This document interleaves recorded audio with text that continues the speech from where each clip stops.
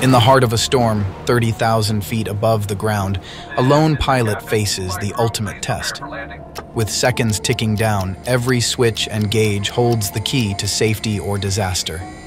As the engines roar against the howling wind, a critical alert flashes, demanding immediate action.